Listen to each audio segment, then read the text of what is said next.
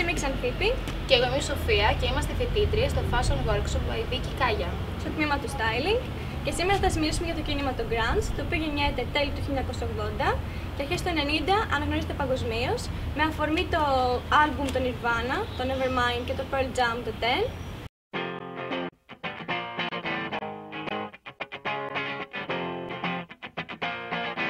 Συγκεκριμένα το 88 ε, δημιουργήθηκε αυτό το κίνημα διότι ήθελε να περιγράψει τη μουσική που ακουγόταν στους δρόμους του Σιάτλ.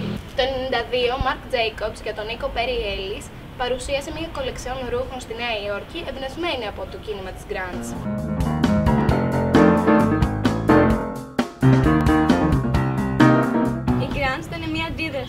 Αντίδραση στο post-punk και punk κίνημα και είχε σκοπό την επιστροφή σε πράγματα που δεν είχαν ηλική αξία.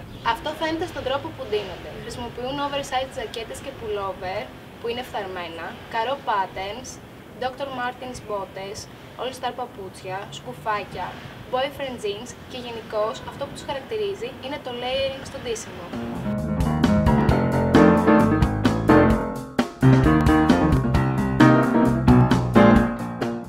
Ευχαριστούμε πάρα πολύ που μας παρακολουθήσατε. Γεια σας!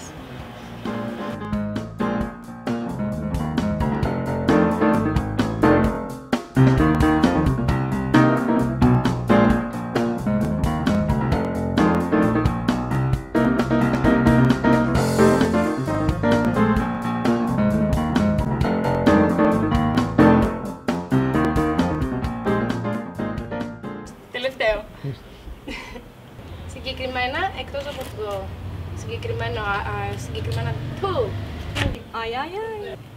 Αρχή, από την αρχή, αρχή. Σκοπό την επιστροφή σε μη υλικά πράγματα.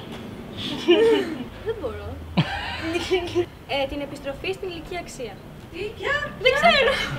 Στην ηλικία, στην ηλιακή ενέργεια.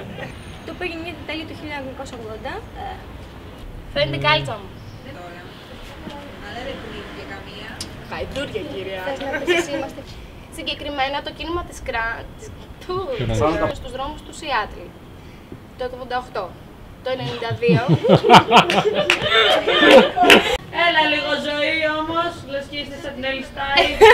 Την άλλη, πώς τη λέω, Σε η Ellie Style. παρακαλώ.